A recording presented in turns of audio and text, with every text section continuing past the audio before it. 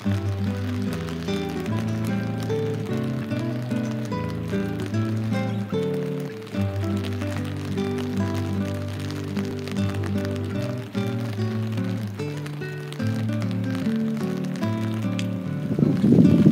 men.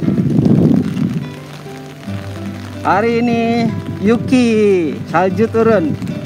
Emang masih ada air hujannya juga. Wah ini dingin banget men.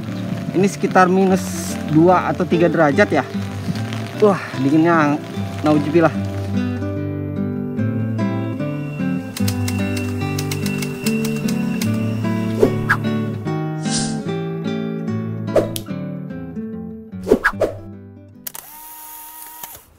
Yus, assalamualaikum warahmatullahi wabarakatuh. Masih bersama gue di Afri JV. Oke men, hari ini itu tadi hujan. Terus ya hujannya udah sekitar satu jam lebih dan gue kira ya udah sedikit reda. Makanya tadi tuh gue keluar ke convenient mart. Terus gue di sana beli kopi.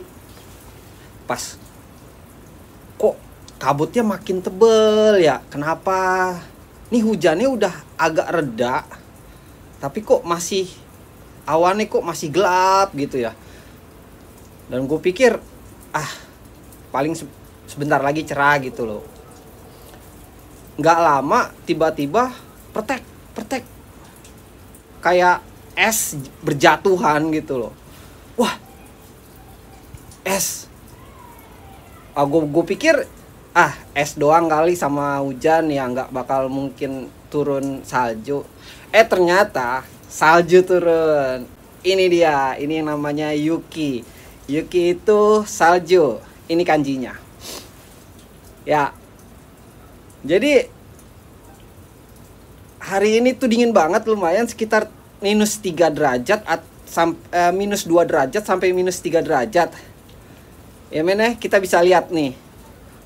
Ya itu kelihatan kayak kapas berterbangan ya.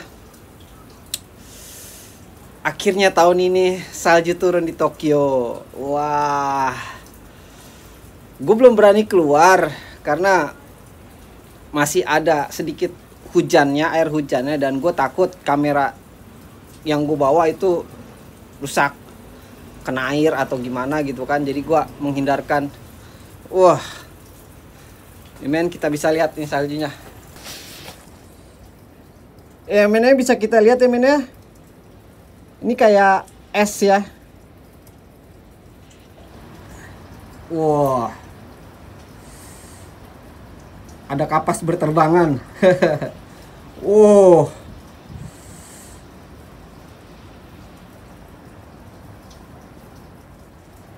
Wah, mantep men ya. Oh, uh.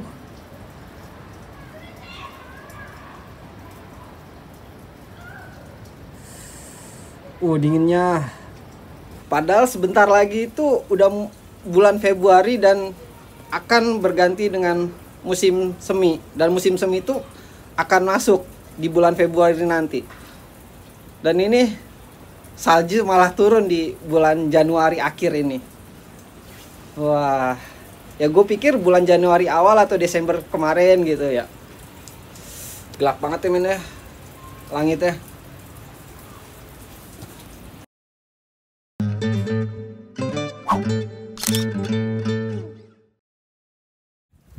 Toyu Wakede Jadi begitulah video kita kali ini tentang salju turun di Tokyo Alhamdulillah ya gue sempat mengabadikannya Ya, jadi di musim ini salju turun di Tokyo alhamdulillah. Ya.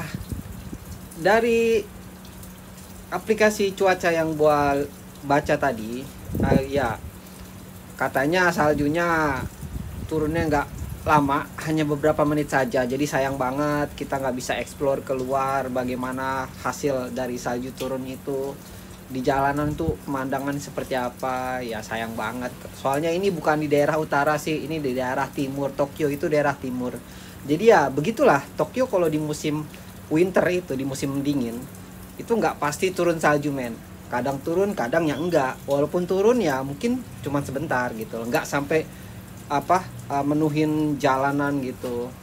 Tapi ya terkadang ya seperti itu. Kadang suka jalanan tuh penuh salju gitu. Tapi ya nggak pasti.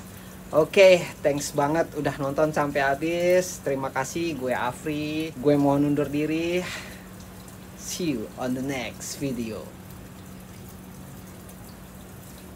Yuki.